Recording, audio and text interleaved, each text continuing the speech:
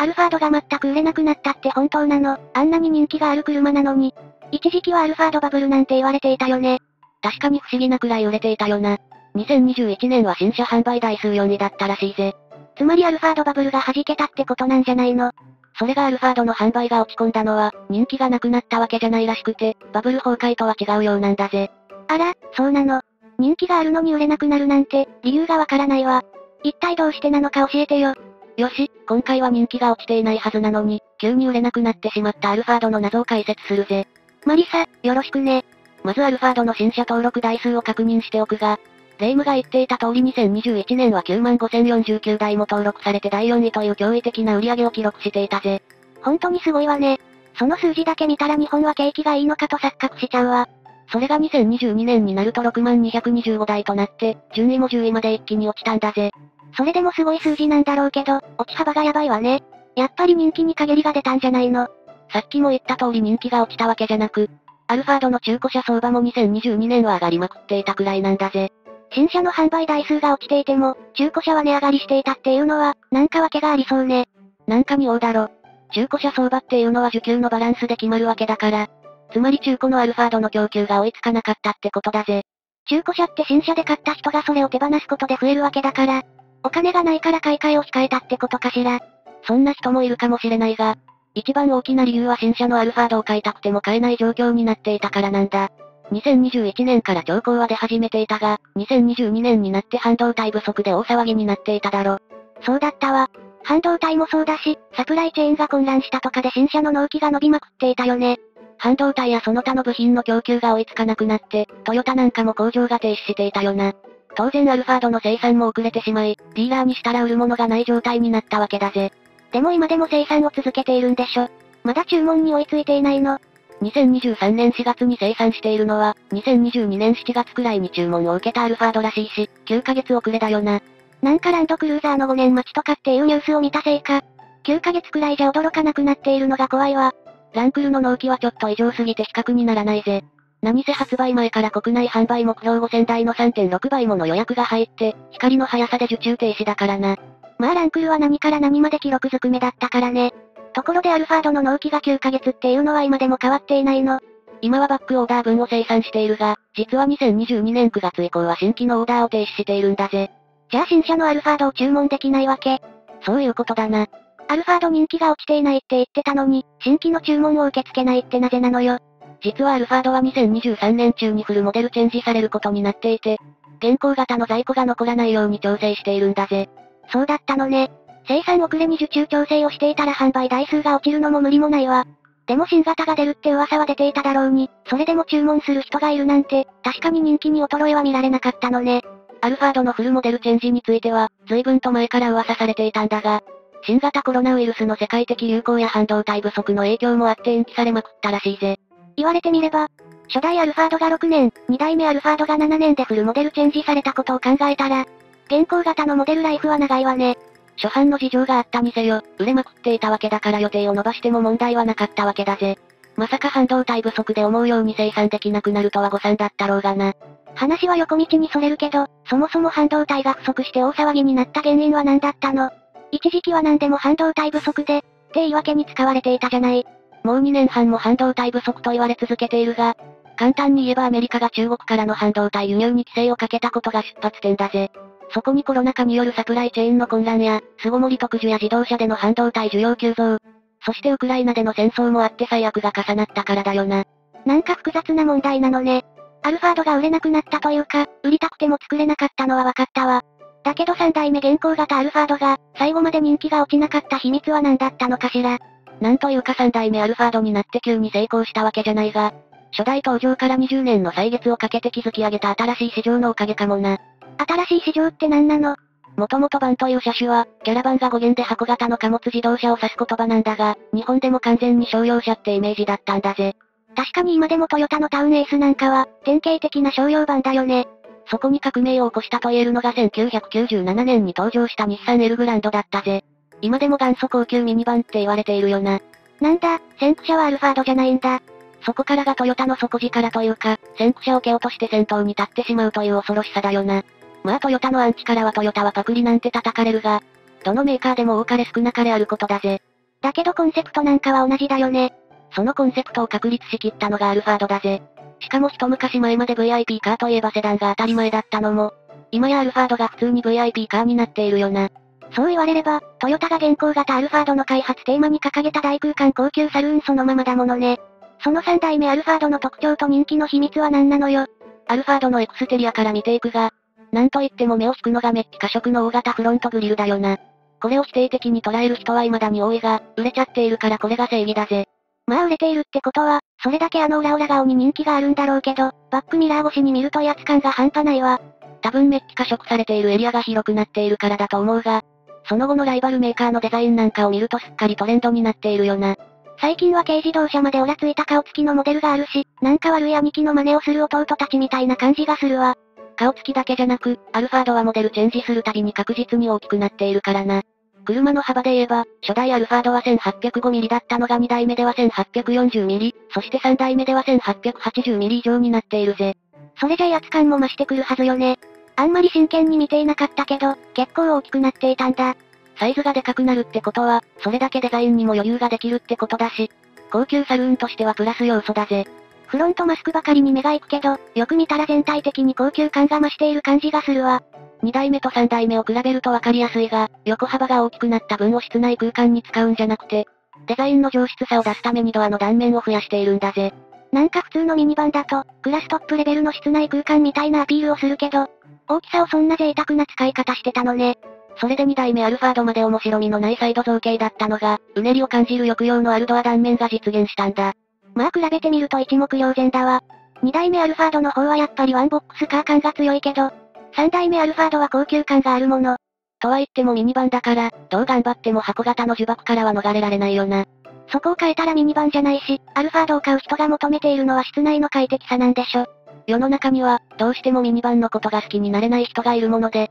そんな人にとっては大きい箱は許せないようだぜ。それはアルファードを買えない人の嫉妬なんじゃないの？それよりリアから見ても高級感が高まっているのね。テールライトが曲面を描いて上に上がりながらサイドまで回り込んでいるし、両サイドのテールライトに挟まれた部分もメッキ化色だからな。サイドから見ると、スライドドアの上部から後ろにかけてもメッキ化色があるのね。本当によく見ないとわからないものだわ。今まではあのフロントマスクしか印象に残らなかったしね。それは無理もないよな。あれだけ派手なんだから。外装は大体特徴がつかめたけど、大空間高級サルーンのインテリアはどうなのかしら。実はアルファードは一番安い X が359万7000円なのに対し、一番高いハイブリッドエグゼクティブラウンジは759万9000円と倍以上の価格差があるんだぜ。その価格差はインテリアの差だと言っても過言じゃないな。そんなに値段が違うのね。インテリアで400万円も価格差が出るものなの。もちろん全てがインテリアの違いじゃないが、アルファードはグレードによって4種類の内装があることが大きな特徴になっているぜ。もちろん上のグレードになるほど豪華なんでしょうけど、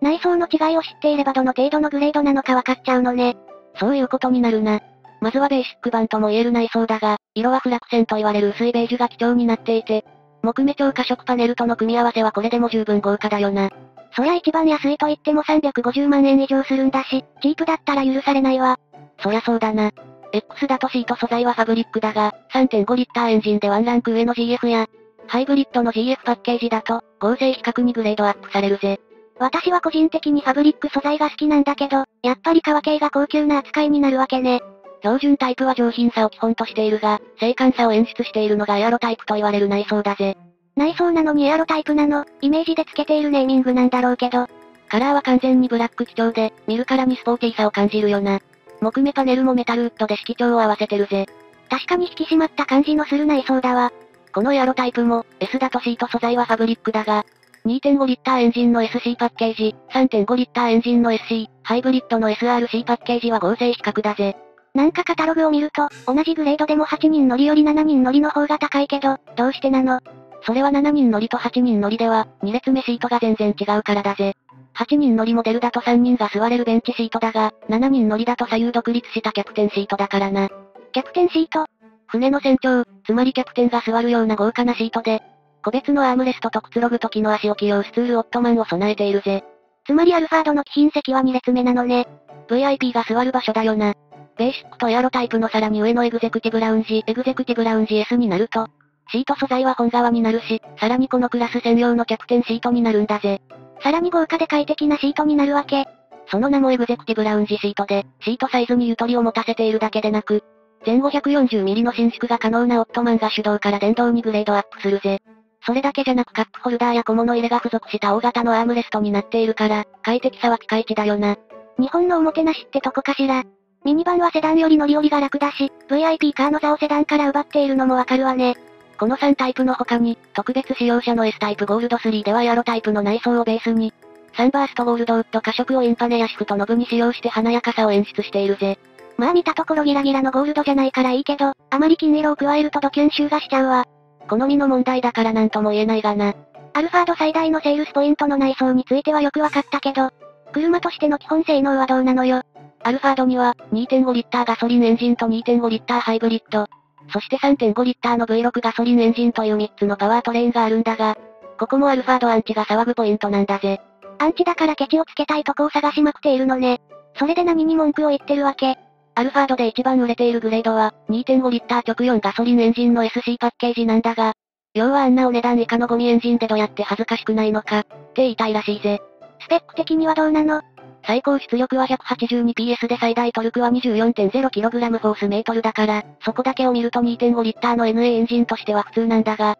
2トンを超える車体重量を考えるとうんって思うかもな。ただサルーンって言ってもミニバンなわけだし、そんなギンギンに飛ばすわけじゃないよね。確かにそうだよな。ただ悲しいというか、実用域ではまるで問題はないにしても、高い速度域になるとちょっと実力不足だぜ。それはハイパワー車を経験しているからそう感じるだけで、ファミリーカーを乗り継いできた人だとわからないでしょ。わからないのに意外や意外ストレスを感じず走れていますなんて言っちゃうから突っ込まれるんだぜ。マリサ、人には知らないでいた方が幸せなこともあるのよ。その人がストレスを感じないならいいじゃないの。それに所詮と言っちゃ失礼だけど、そもそもミニバンに走りの性能を求めるのはナンセンスだわ。その通りだな。ただ3.5リッターの V6 エンジンになると 300hps の最高出力に 36.8kg フォースメートルの最大トルクだから、かなり余裕を感じるはずだぜ。ミニバンにしてはオーバースペックなんじゃないの？それに3.5リッターだと維持費も高くなりそうだわ。3.5リッターといっても細かく言うと 3456cc だから、自動車税は5万8000円もするな。それになんといっても大きな違いは、2.5リッターがレギュラーガソリンなのに、3.5リッターになると廃屋ガソリンを入れなきゃならないから、レイムの言う通り維持費はかなり高くなるぜ。それじゃ本当の VIP じゃなきゃ維持するのは無理そうね。VIP にとっては廃屋ガソリンや、JC08 モード燃費で10.6から 10.8km パーリッターといった燃費も気にならないだろうな。その点も考慮すると2.5リッターエンジンのハイブリッドモデルはバランスが良いと思うぜ。ハイブリッドのアルファードって、燃費の方はどうなの？燃費は18.4から 19.4km パーリッターだから、あの重いアルファードにしてはかなり優秀だろ。それにハイブリッドモデルは、発進加速は滑らかで静粛性も優れているし、上質感って部分では一番アルファードのキャラクターに合っていると思うぜ。そんなにおすすめなのに、売れ筋は5.0リッター直4ガソリンエンジンの SC パッケージなんでしょ。それにはなんか理由があるのそれは単純に価格差だぜ。同じエアロタイプの内装だとハイブリッドはハイブリッド SRC パッケージになるが、価格は100万円以上高くなるからな。要するにアルファードであって、なおかつエアロタイプであることだけが重要なのね。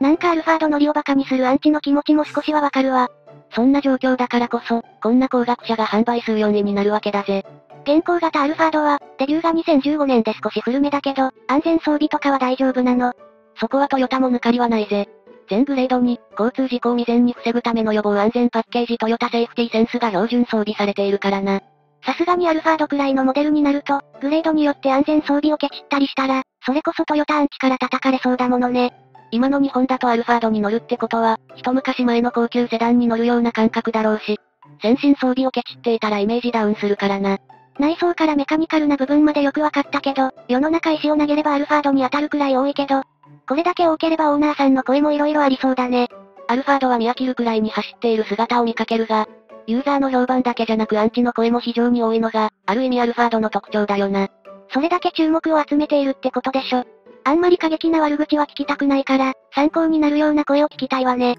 そうだよな。悪口を集めても生産性皆無だし、アルファードのいい点と悪い点を客観的に評価している声を紹介するぜ。まずはアルファード最大の売りと言ってた内装とか高級感なんかについて、オーナーさんたちはそう思っているのか知りたいわね。そうだな。まあ士官にもよるし乗っているグレードにもよるが、一番安い X に乗っているオーナーさんは、車内はさすがにベースグレードでも高級車の雰囲気が漂う。天下のトヨタがお金をかけて作っただけあると言ってるぜ。ベースグレードと言ってもアルファードだからね。中国の思想家が足りるを知るって言ってたけど、このオーナーさんはそれを実践している感じだわ。上を見たらキリがないからな。次に噂の SC パッケージのオーナーさんだが、最新のデザインとまでは言いませんが、十分9大点が与えられるレベルだと思います。シート表紙からパネルの使い方などは素晴らしいと思います。と、こちらも満足しているようだぜ。まあ、最初からアルファードが欲しくて買っている人が多いでしょうし、手に入れたら満足はするよね。面白かったのは、愛車がデリカ D5 の人が旅先でレンタカーのアルファードを乗っての感想で、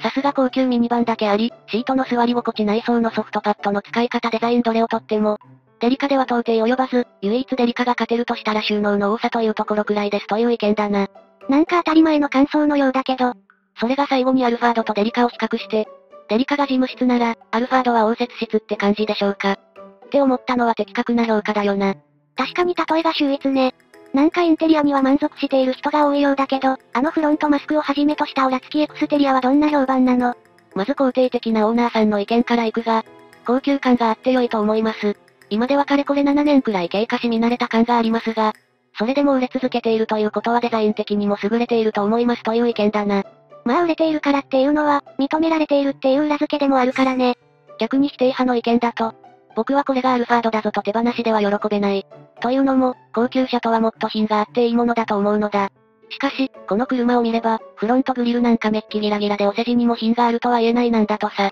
なんでアルファードに乗っているのかしら？それを我慢してでも得られるメリットがあるってことかな。アルファードは今やライバル不在と言える状況だから、あのギラギラに目をつぶっても高級ミニバンがいいって人がいるかもな。あのエクステリアについては、賛否両論がそのまま続いているし、今度新しく登場する4代目アルファードではどうなるのかしら。どうだろうな。プラットフォームは先行して公開されているレクサス LM と同じようだが、LM のフロントマスクはプレデターみたいな顔をしてたぞ。なんか期待と不安が入り混じるわね。ところでアルファードに限らないけど、ミニバンって同乗者ファーストでしょ。そんな状況でハンドルを握っているオーナーさんは何を思っているのかしら。それは走行性能も高さがあるので、カーブが多いととても悪い。だが、これを後ろに乗る車と考えると乗り心地はいい。私の結論はこの手の車はちょっと高い送迎車という位置づけ。孤独な人は不要なので論外だが、持ち主は家族の運転手と割り切ればありです、という意見に代表されるよな。完全にショーファーに徹するってことなのね。なんかかわいそうだわ。それと NA の2.5リッターエンジンだと、ここぞという時の物足りなさは感じるようで、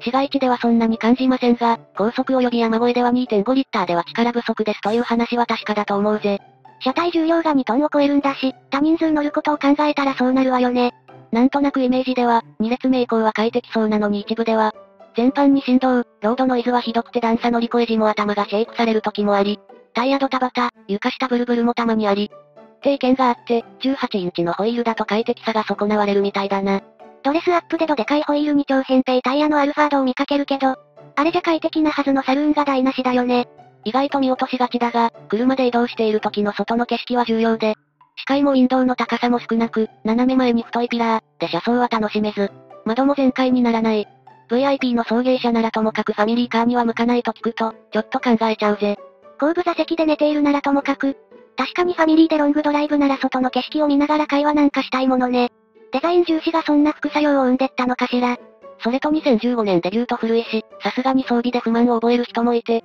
レーダークルーズコントロールはいいのですが、中央線に近すぎるので対向車が大型の場合は怖いです。とかは考えものかもな。実際古いし仕方ないわよ。最近の進化はすごいらしく、カローラにも標準装備の T コネクトは窓ガラスを閉め忘れたり、鍵を閉め忘れた場合にお知らせがスマホにメールが来ますが、アルファードはそんな機能はありません。エスティマと同じです。残念ですなんて話もあるぜ。それはアルファードが残念というより、最新のカローラがすごいのよ。もう新型発売も間近なんだから許してもいいでしょ。でも売れ続けたアルファードは、トータルでどれくらい売れたのかしら。2代目アルファードが月間販売目標3000台で実績もそんな感じだったから、現行型デビュー時も同じ目標だったな。ところがそれをはるかに上回ったのが今のアルファードだぜ。今になって考えると控えめな目標だったのね。結果的に51万台以上も売れたのは驚きだが、なんといっても2021年の9万5049台っていうのが光り輝くよな。その前の年も9万台超えでしょ。どうしてそんなにも売れたのかしら。さっきも言ったが、高級車の概念が変わったということもあるよな。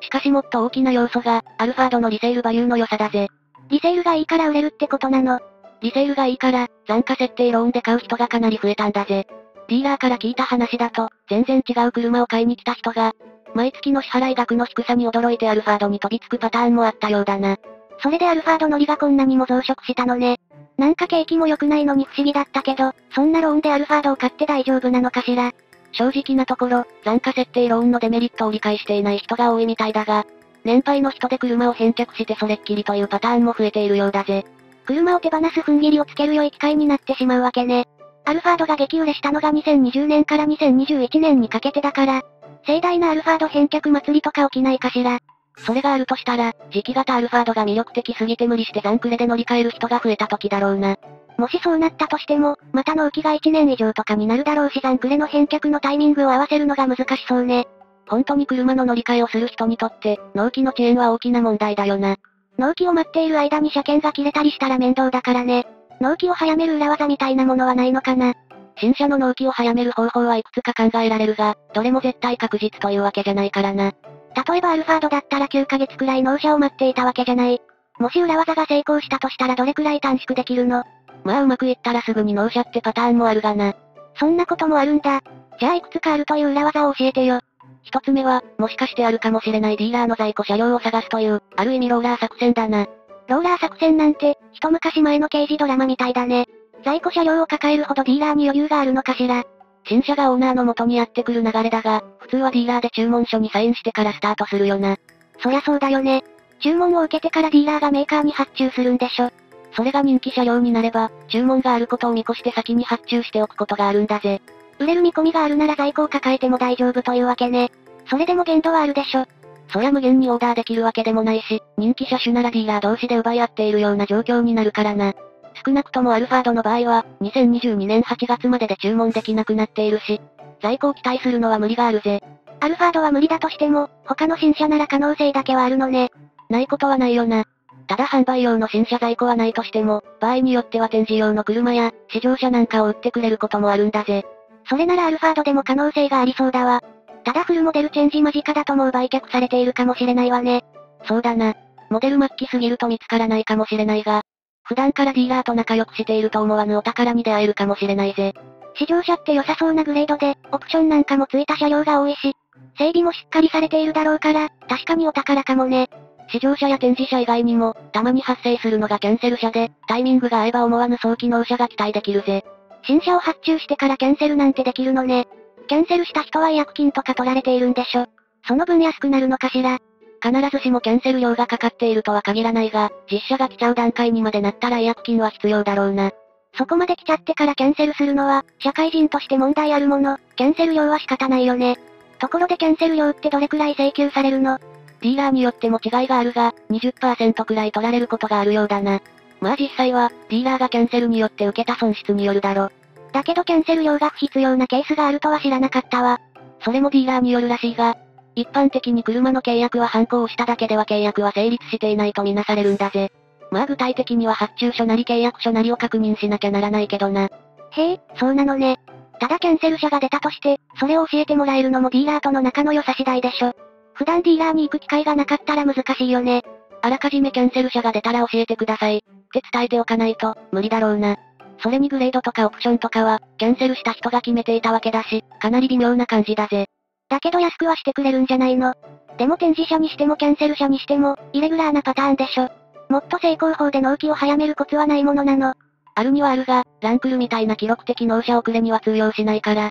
その点は理解してくれよ。ランクルのあれは、もう参考にならないから気にしなくていいわ。一般的に自動車メーカーは、生産計画を立てるときに一番売れるグレードを優先的に製造しようとするんだぜ。だから売れ筋のグレードを注文すると、比較的納期が短くなると言われてるよな。じゃあアルファードで言えば、2.5リッター直4ガソリンエンジンの SC パッケージが狙い目だったのね。まああくまで一般的に言われていることだからな。あまりにも注文が殺到している超人気車種の場合は、当てはまらないこともあるからディーラーに聞いてみた方がいいぜ。グレード選びだけじゃなく、ボディカラーなんかも同じことが言えるわけ。カラーも白系や黒系の定番人気色の方が多く生産されるから、個性的すぎる色選びは避けた方がいいかもな。それに注文も多くなる人気グレードやカラーになると、必然的にキャンセル発生数も多くなるから狙い目だよな。でも多少のテクニックを駆使しても数ヶ月待つんだったら、中古車という選択もありだよね。アルファードは中古車市場でどうなっているのかしら。アルファードの中古車だが、一つ朗報なのは高騰していたアルファードの中古車価格が少し落ち着いてきていることだぜ。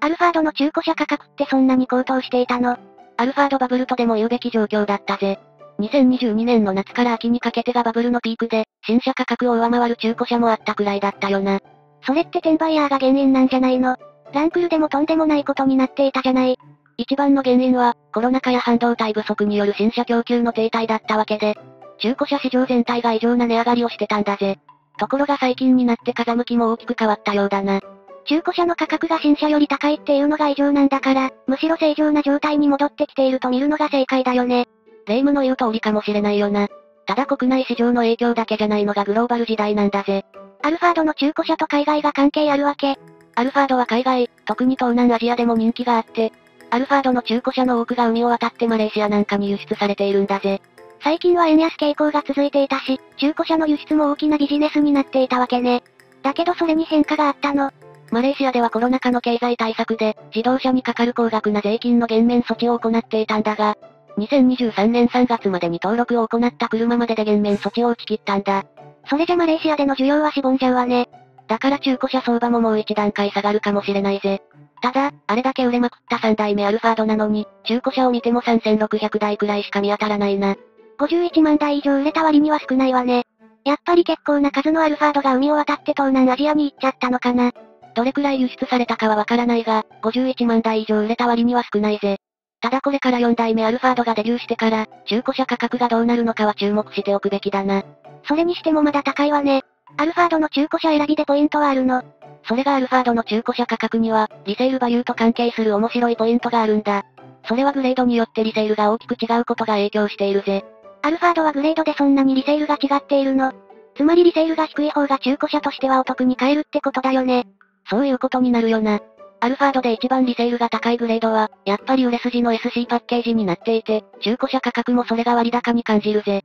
アルファードアンチにどんなに叩かれようが、そのグレードが不動の人気なのね。だからアルファードには、リセールを意識したリセール仕様なんておすすめ装備があるくらいだからな。リセールを意識するのは悪いことじゃないけど、さすがにリセール仕様なんて言われたら最初から売る気満々みたいで引いちゃうわ。ちなみにどんな仕様になっているの ?SC パッケージで、まずボディカラーはホワイトパールクリスタルシャインだろそして内装はエアログレードにしてクールに決めるわけだぜ。まあわからないでもないわね。それにナビは必須で、リアエンターテインメントシステムツインルーンルーフをつけて、モデリスタエアロで完成だぜ。最後のモデリスタエアロでなんか察してしまうわ。だけど見ていると2.5リッターガソリンエンジン車がほとんどじゃない。それにまだまだ高いわね。逆に超高級仕様のエグゼクティブラウンジ、エグゼクティブラウンジ S や、3.5リッターの V6 エンジン仕様はリセールバリューが低いから、中古車を買うなら非常にお買い得感があるぜ。お買い得感があっても、見てみると中古車の数が全然少ないじゃないのよ。それだけ2.5リッターアルファードの方が売れているってことなのね。それもあるが、海外市場ではエンジン出力に余裕のある3.5リッターのアルファードの方が好まれているらしいし、それこそ海を渡っていったのかもしれないぜ。結局のところ日本の自動車税が高すぎるのよ。余裕のあるパワーを求めたら税金も高くなるなんて、ただの罰ゲームだわ。それに古くなったら自動車税も高くなるって、役人の頭は湧いているぜ。文句を言ったところで変わらないのが悲しいよな。この感じじゃ、中古車を買うにしても2.5リッターのガソリンエンジンになっちゃいそうね。しかもさっき聞いたリセール仕様が多いのが現実でしょ。焦って買う必要もないし、間もなくデビューする新型40系アルファードを見てから考えればいいと思うぜ。そうよね。転売ヤーを儲けさせるのだけは我慢できないからね。なぜアルファードの販売が急に落ちたのかから、現行型3代目アルファードのことを色々解説したが、人気は全く衰えていないことは分かっただろ。それはよくわかったし、人気すぎて生産が間に合っていなかったとはね。しかもフルモデルチェンジを控えて2022年9月以降はオーダーストップしていたくらいだから、そんな結果になるのも当然だわ。つまり3代目アルファードは、もう新車では手に入らないわけだから、2022年の新車販売4位が最高順位だったわけだぜ。まさか爆発的な売れ行きに残価設定ローンの力もあったとはね。これからアルファードを見かけたら、どうしても残クレを想像しちゃうわ。残クレとはいえ購買スタイルの一種だし、そんな気にすることはないぜ。まあ背伸び感はあるがな。改めてアルファード人気の理由が分かったし、売れる理由もすごく理解できたわ。とても勉強になりました。そう言ってもらえると解説した甲斐があったぜ。それじゃ今回の解説はこれでおしまいにするな。アルファードの売上減少の理由について、みんなの熱い気持ちをコメントしてくれ。そして、この動画が面白いと思ったら高評価よろしく頼むぜ。みんなのコメントと、高評価のおかげで動画作成頑張れてます。これからもみんなが楽しめるような動画を投稿できるように頑張るので、チャンネル登録で応援していただけると、とても嬉しいです。それでは今回も最後までご視聴いただき、ありがとうございました。